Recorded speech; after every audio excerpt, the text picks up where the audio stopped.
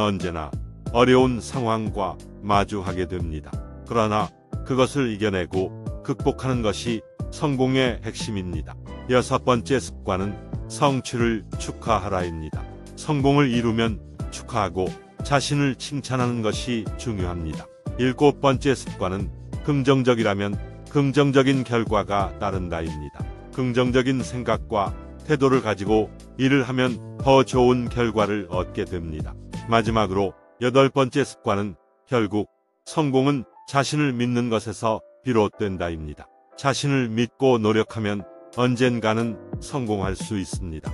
이렇게 자수성가 천억부자 233명이 추천하는 습관 8가지를 알아봤습니다. 이 습관들을 따르면 우리 모두가 성공에 한 발 더 가까워질 수 있습니다. 계속해서 노력하며 목표를 이루어 나가길 바랍니다. 감사합니다.